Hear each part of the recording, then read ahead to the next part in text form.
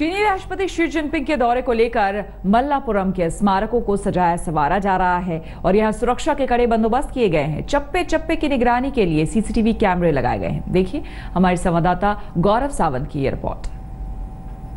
चप्पे चप्पे पर सुरक्षा बल।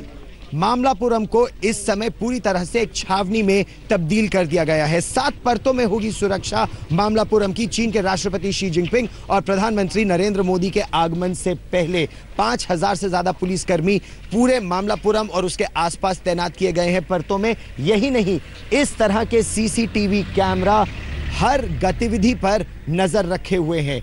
यहाँ पर तमिलनाडु पुलिस, महिला police, arm police bomb detection squad anti terror squad dog squad और फिर जो इनर मोस्ट सबसे अंदर की लेयर होगी, वो होगी एसपीजी की सुरक्षा के लिए, और सभी इस समय यहाँ तैनात कर दिए गए हैं। यहाँ की सुरक्षा बिल्कुल चाक चौबंद और ये देखिए कि यहाँ पर भारत और चीन दोनों के झंडे भी आज लगा दिए गए हैं। एक नया लेयर घास का भी लगाया जा रहा है इस पूरे इलाके में, ताकि ये जो यूनेस्को वर्ल्ड हेरिटेज साइट है, चीन के राष्ट्रपति शी जिनपिंग के आगमन से पहले ये बहुत सुंदर लगे। वुहान में पिछले वर्ष, अप्रैल में भारत के प्रधानमंत्री नरेंद्र मोदी और चीन के राष्ट्रपति शी जिनपिंग मिले थे, तब लेटेस्ट खबरों के लिए यू ही देखते रहिए आज तक।